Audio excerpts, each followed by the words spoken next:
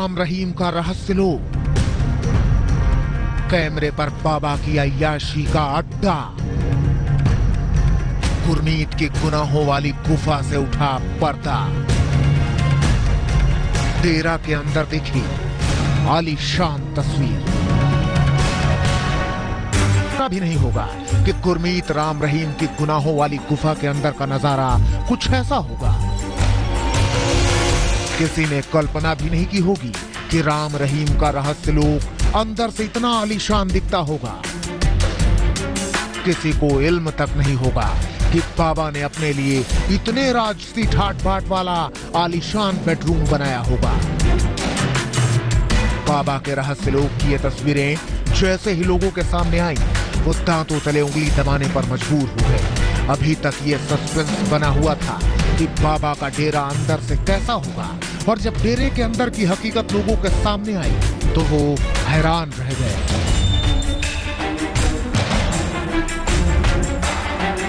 तो देख लीजिए आप, कैसे आलीशान महल में रहता था बाबा गुरमीत राम रहीम ये देखिए, बाबा का बेडरूम कितना आलीशान है। पर्पल कलर का शानदार बेड है।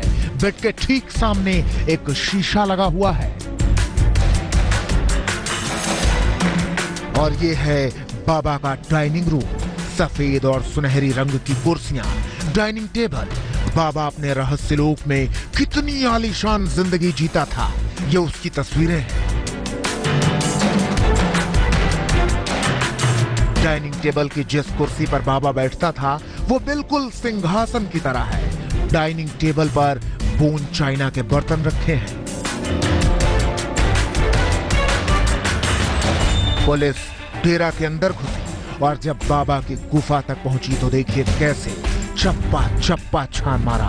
पुलिस वालों ने बाबा के बेडरूम का दरवाज़ा लात मारकर खोला।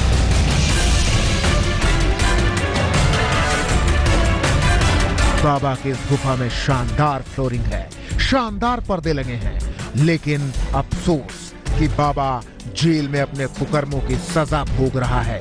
यकीनन राम